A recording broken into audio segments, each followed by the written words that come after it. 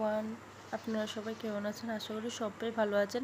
আজকে কোনো blog video আস নিয়ে আসেনি। আজকে চারোদিকে যে অবস্থা বন্যার হয়েছে, এটা সম্বন্ধে তোমার সাথে একটু শেয়ার করতে এসছি। চারোদিকে এত খারাপ অবস্থা হচ্ছে। মানুষ বাড়ির ঘর মানে সব তো ছাড়ছে। গরু, জীব মানে গরু, ছাগল সব জলের নিচে চলে যাচ্ছে। আর ডুম্বুরে বাদ এমনভাবে ছেড়েছে একবার না অলরেডি দুইবার কি তিনবার ছেড়েছে। তার জন্য মানে কি বলব, সবার অবস্থা খারাপ। উদয়পুরের দিকে তো আরও বেশি খারাপ, বেলুনিয়ার দিকেও খারাপ। বিশালগড় তো পুরো ডুবে গেছে অলরেডি অমরপুরও ডুবে গেছে। মানে ওরা যে কি করবে এখনও বুঝতে পারছে না। মানে যে প্রকৃতি মানুষকে সাহায্য করে, ওই প্রকৃতি আজকে মানুষকে মরণের হাতে ঠেলে দিচ্ছে। কি যে করবে ওরা আজও বুঝতে পারছে না। যে পাচ্ছে ওদেরকে শুকনা খাবার দিয়ে আসছে, যে ফোন করছে, বলছে ওদের শুকনা খাবার দিয়ে আসবে। যাহার যেতটুকু সামর্থ্য, এতটুকু সাহায্য করছে সবাই সবাইকে।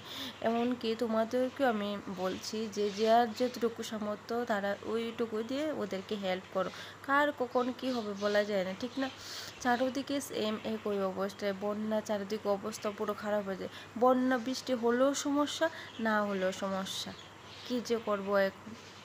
প্রকৃতির কাছে আমরা একের পর এক হেরে যাচ্ছি। একবার না হলে বৃষ্টি হয়, আরেকবার না হলে জ্বর হয়, কিছু না কিছু হয়ে যাচ্ছে। টানা এক সপ্তাহ ধরে বৃষ্টি হচ্ছে। তার সব তো ডুবিয়ে যাবে না? আর ডুমপুরে বাঁধের উপরে দিয়ে জল চলে আসছে। বেঁধে খুলে দিলে যেন আরও কী হবে? ভেঙে গেলে এটা। ভগবান জানে।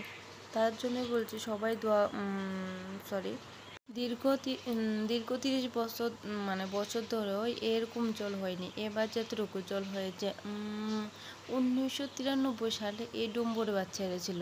আবার এবার আবার ছেড়েছে। মানে প্রকৃত এর মন পরিহাস যে মানে এত পরিমাণ বন্যা হয়েছে যে বাদ ছাড়তেই হবে। আর যদি না ছাড়ে, এটা যদি ভেঙে যায়, তারপরে তো পুরা মানে কি বলব, পুরো ত্রিপুরেই শেষ।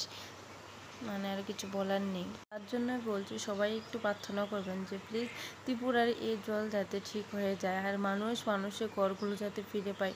আর এত বৃষ্টি হয়েছে মানে বলার নেই, চারোদিকে পুরো ফ্লাড হয়ে গিয়েছে।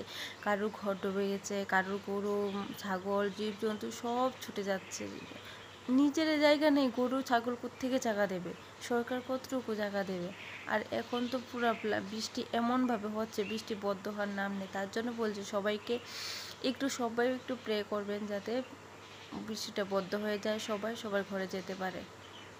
আর সবাই ভালো থাকবেন, সুস্থ থাকবেন, সবাইকে বলছি।